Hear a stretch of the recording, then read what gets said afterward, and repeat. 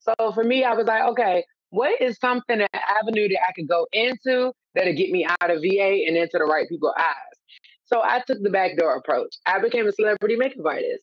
So I worked with some of your favorites from reality TV, you know, Yandy Smith, uh, Tami Roman, Janelle Monáe. I just doing my thing. Yeah, some of the most beautiful women in Hollywood. We we we love Janelle Monáe at the smoke screen, man. That's oh, she's our... phenomenal.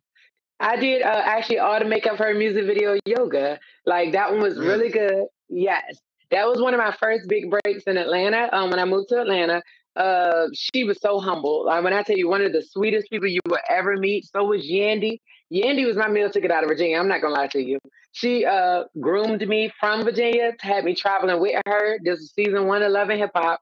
So without these people that you know I mentioned, I wouldn't even be sitting here with y'all today because they gave me this taste really quick of what the industry is like taking care of your business, being great, like always showing up on time. Those are things that really matter in this industry, always about networking and connection. So because of them, they made me rhyme today. So I couldn't be here without them.